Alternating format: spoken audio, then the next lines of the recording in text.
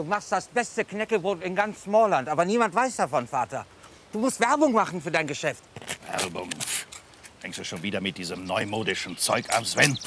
Als nächstes kommst du mir wieder mit diesem Internet. Das wird sich nie durchsetzen, Junge, das sage ich dir. Und überhaupt, was kümmert's dich? Du willst doch die Knäckebrotmanufaktur sowieso nicht übernehmen. Mein Herz gehört dem Tretbootverleih, das weißt du ganz genau, Vater. Außerdem habe ich diese böse Glutenunverträglichkeit. Ah, da. Es geht schon wieder los.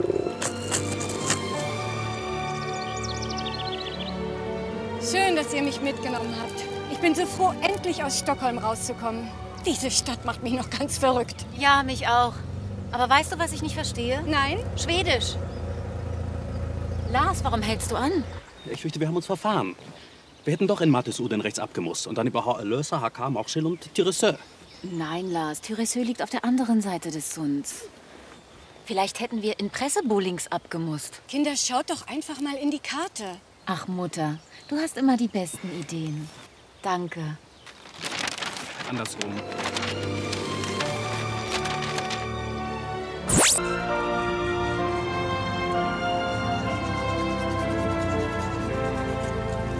Entschuldigung. Hey, äh, wir haben uns ein bisschen verfahren. Ist das hier das Smallland? Ja, das ist richtig. Hab ich doch gleich gewusst. Hab ich doch gleich gewusst. Dann ist das wahrscheinlich der Fischverleih Rasmussen, nicht? Nein, das ist die Knäckebrotmanufaktur Svensson. Agneta? Sven? Agneta Edwardson? Sven Svensson? Mein Gott, ist das lange her. Das gibt's doch nicht. Das muss doch mindestens 14, 15 Jahre her sein. 14 Jahre, 8 Monate, 3 Wochen, 6 Tage, 7 Stunden, 23 Minuten und 9 Sekunden, wenn man es genau nimmt.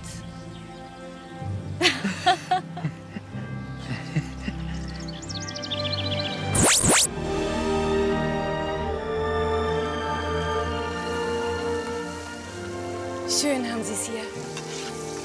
Selma ist übrigens Agnetas Mutter. Ja. Früher war sie Werbefachfrau. Aber mittlerweile lebt sie recht zurückgezogen, nachdem vor fünf Jahren ein wilder Elch im Iverforst ihren Mann totgetrampelt hat. Äh, für Werbung habe ich nichts übrig. Das ist aber schade. Werbung ist Verführung. Werbung macht Appetit, wie frisch gebratener Schöttbuller. Wo ist eigentlich Ihre Frau? Ach, das ist eine lange Geschichte. Vor einigen Jahren wollte sie aus dem Smallland abgeholt werden. Seitdem haben Sven und ich nichts mehr von ihr gehört. Es muss schrecklich sein, so ohne Mutter aufzuwachsen.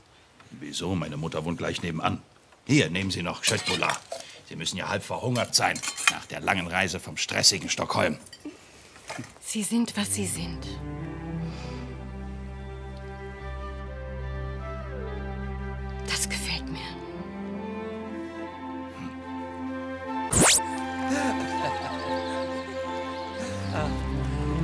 Kann doch kein Zufall sein, Sven.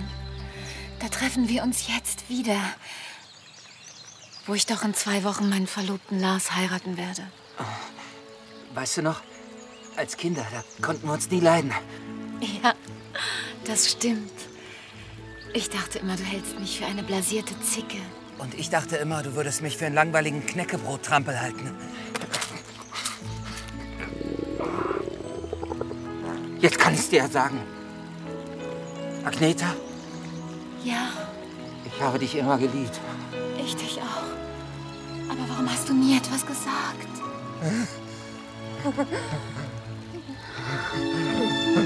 Agneta! Agneta, schnell, deine Mutter!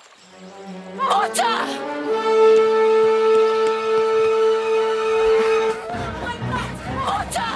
Einem Schöttbullar verschluckt. Schnell! Sven! Kümmer du dich um die Schöttbuller. Ich muss Selma retten. Sie braucht Luft. Gott sei Dank, er ist raus.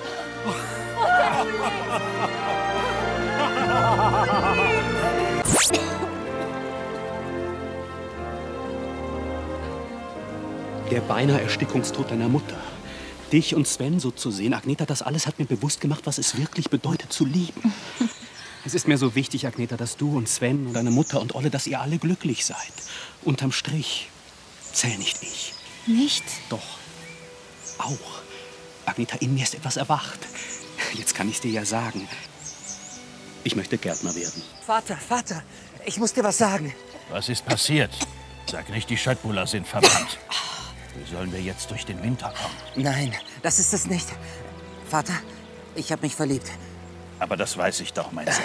Und ich muss dir auch etwas sagen. Ich habe mich ebenfalls verliebt. Vater! Mein Sohn. Können wir dann? Ja, wir können.